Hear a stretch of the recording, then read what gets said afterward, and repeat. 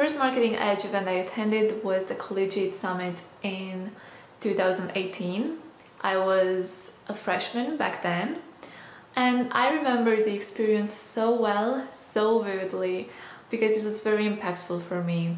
As an international student and also being first generation, these are not kind of experiences that my parents had or my grandparents, no way. So being able to do this, I felt like I was in a dream. I felt like I was pursuing my dream actually. So I was thinking to myself, this is the moment I'm taking my life into my hands. This is the moment I'm stepping into my career and honestly Marketing Edge was the start of it.